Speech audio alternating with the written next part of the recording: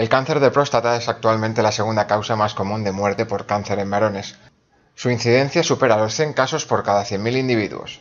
Ahora, investigadores del Instituto de Tecnología Química Centro Mixto de la Universidad Politécnica de Valencia y el CSIC han desarrollado a escala de laboratorio una nueva nanomedicina para su diagnóstico temprano y tratamiento. Esta patente eh, se basa en una nanomedicina eh, que contiene eh, dos funcionalidades, la función de diagnóstico y la función terapéutica.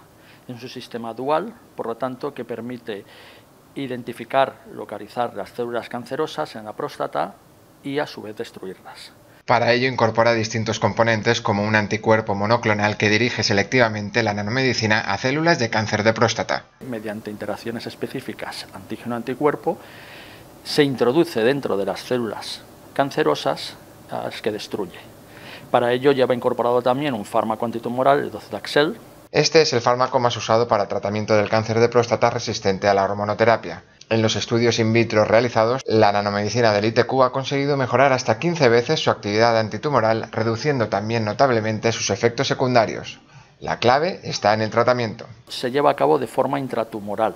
Normalmente el tratamiento habitual por defecto del cáncer de próstata es administración intravenosa de los fármacos. Es un tratamiento intravenoso con gran cantidad de efectos secundarios por, por cuanto no hay una selectividad, eh, no está dirigido el fármaco hacia células cancerosas y afecta a todo el organismo.